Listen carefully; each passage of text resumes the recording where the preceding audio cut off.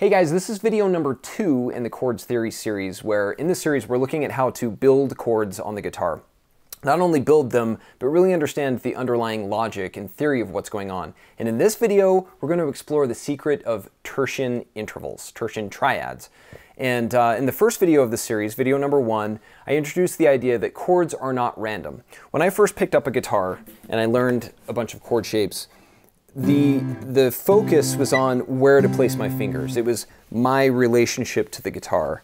Finger three goes on this fret, this string, and I didn't really think so much about the relationship of the notes themselves and why I was playing those those fingers in those positions, but just play it.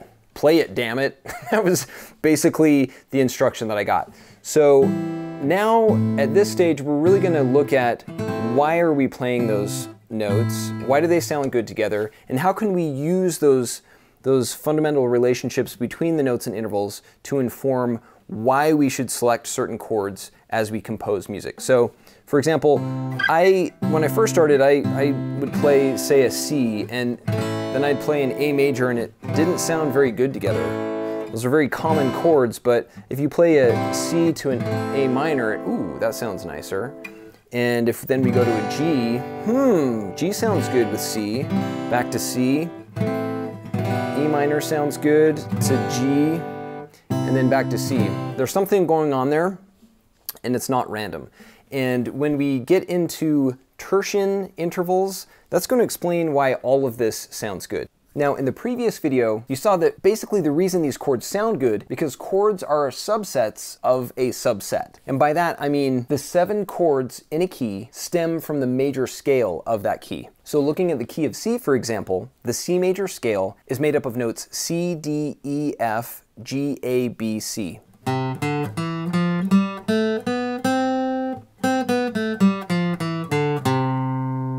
This major scale is a subset of the chromatic scale, all 12 notes of music. And starting on the C note, interval 1 in the major scale, if we play C, skip a note, skip D, and play E, and then skip another note, F, to play G, if we play these three notes together, C, E, G, every other note of the major scale, together these notes form the C major chord.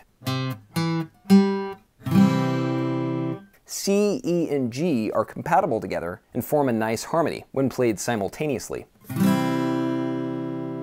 And when we start on the D note, the second note of the C major scale, and play every other note, or D, F, and A,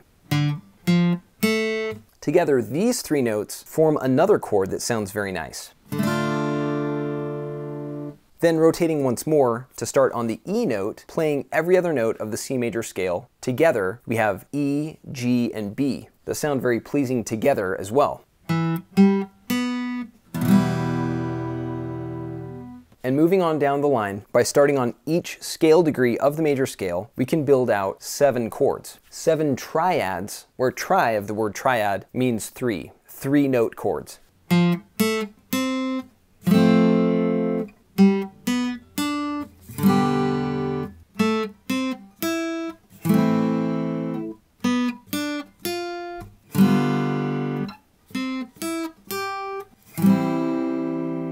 Now when you look at all of the chords like this, focusing on the intervals between the notes, the resulting triads look alike, right? In the sense that each one forms a similar triangle. The intervals of the C major chord resemble those of the D minor chord, which also resemble those of the E minor chord, and so on, where the geometry of each pattern seems almost identical. Yet when you look a little closer, the intervals of each triad do differ slightly, or at least some of the triangles are different, while some of them are the same. To show you what I mean, all we have to do is label each interval with its respective value, like this, where the capital M3 means major third, and the lowercase m3 means minor third. So in the C major chord, for example, a major third separates C and E, while a minor third separates E and G. The first interval of the chord is a major third, while the second interval is a minor third. And in the D minor chord, the interval between D and F is a minor third, while the interval between F and A is a major third. So in this chord, a minor third is the first interval, and a major third is the second interval. Likewise, in the E minor chord, E and G are separated by a minor third, and G and B are separated by a major third. Then in the F major chord, a major third separates F and A, while a minor third separates A and C, and so on. And so what these labels do is they highlight the fact that not only are the chords made up of different intervals, but there's also variety in the order of intervals used. Each chord is comprised of major third and or minor third intervals that are arranged in different sequences. So each chord in a key, each of these triads is a tertian triad because each is made up from intervals of a third, whether it's major or minor. So the number three plays a significant role in music, especially in the construction of chords. In fact, the phrase tertian triad is even a double reference to the number three since each triad has three notes that are built from tertian intervals of a third. Tertian triad, three and three. But three isn't the only number that appears in chords. There's also another one that shows up in every harmony that you hear. It's a number that's equally important in music, and that number is five. And that's because in each of these triads, the first two intervals add up to an interval of a fifth. In the C major chord, for example, the interval between C and G is a perfect fifth. C to E is a major third, and E to G is a minor third, and combined, this major third plus the minor third interval equals a perfect fifth. Likewise, in the D minor chord, the minor third between D and F plus the major third between F and A equals a perfect fifth. The interval between D and A is a perfect fifth, which you can clearly see because orange D is closely related to orange yellow A from their relationship in the circle of fifths. And within every chord in this key, or any key for that matter, these tertian intervals of major thirds and minor thirds combine to form the interval of a fifth between the first note of a chord and the last note. Now, in my full course, I go into all sorts of detail into how all of these notes and interval patterns work. But just to recap here, let's pause and really soak in how cool this is. So the major scale pattern is really the foundation of chords in music. And this pattern is just a subset of the chromatic scale of the 12 notes that are possible in music. And the reason the major scale sounds especially good, why these notes sound good together, is because the chromatic scale is really just a rearrangement of the circle of fifths, a fundamental pattern in music that explains the relationships between all notes and keys in music when the 12 notes of music are arranged in a circle of fifths sequence, and we highlight a group of neighbors that are adjacent to each other, and then rotate this pattern back into the chromatic scale sequence, still highlighting just this subset, we get the major scale pattern. And then from that, when we play every other note, starting on each scale degree of the major scale, we come up with seven triads that sound especially good. And with color, you can see all of these relationships between pattern rearrangements and interval connections and the affinities between scale degrees, like magic. You cannot make this up. And as it so happens, all of these interval patterns in each chord are made up of major third or minor third intervals, tertian intervals. And these tertian intervals are what really influence the sound of chords, why each chord sounds the way it does, whether it's major or minor. Now, when we're looking at these patterns in their circular formations, it's easy to see how this rotation happens from one chord to the next in a given key. But there's another way that we can look at these chords in a table format to really solidify what we're looking at here. So when we unwind all of the notes from the chromatic scale into a line like this at the top of the table, you can see how the intervals form the major scale pattern, built from a sequence of whole steps and half steps. C, D, E, F, G, A, B, C, repeated down the line, which we can also label using scale degrees or numbers 1, 2, 3, 4, 5, 6, 7, 1, 2, 3, 4, 5, 6, 7, 1, and so forth. Now the reason we repeat it in a linear sequence like this is because the pattern is inherently cyclical. So it just repeats itself once you unwind the circular formation into a line. And when we play every other note of this major scale in the key of C, we can build seven triads starting on each respective scale degree. So starting on interval 1, C, we can play the C major chord, made up of notes C, E, and G. Then starting on the second scale degree, D, we can play the D minor chord, D, F, A. And working our way down the line, we can play each triad beginning on its own respective scale degree. E minor,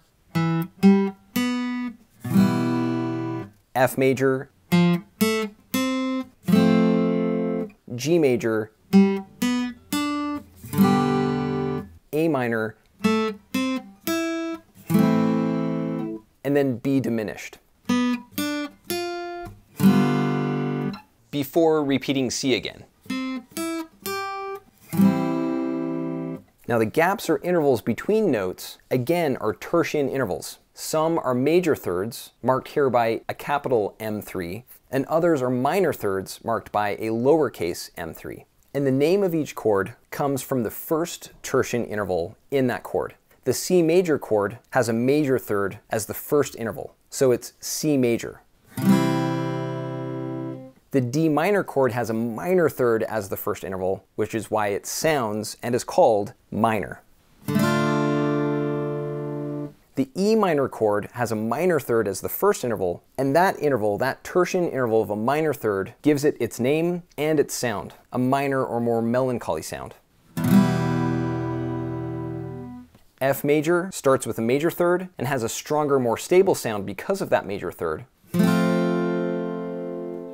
G major starts with a major third. A minor starts with a minor third. And then the B diminished, the diminished chord sounds extra weak because it has two minor thirds, unlike any other chord in a key. These two minor thirds combined sound extra melancholy or sad or just kind of wimpy, hence the name diminished. So again, these chords are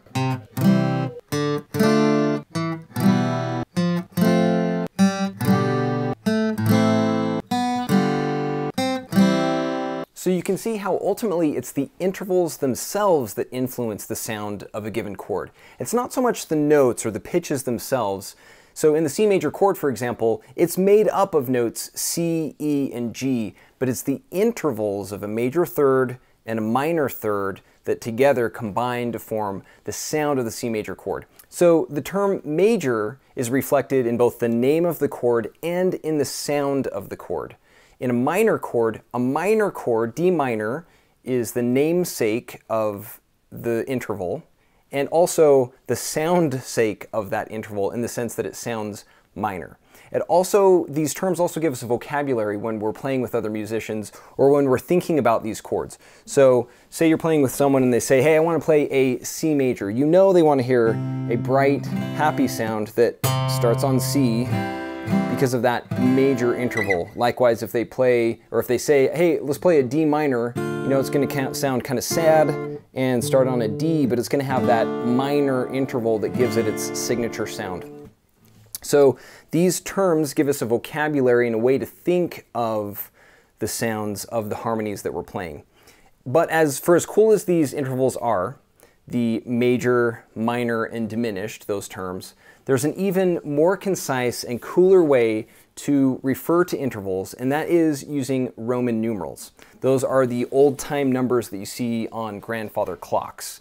But they're not just limited to clocks that you see in homes, these fancy numbers, they're actually used a lot in music and they have a really cool, powerful way to communicate information, which is what we will look at in the next video. So thanks for joining me in this exploration of the secret of tertian intervals, and I'll catch you in the next video.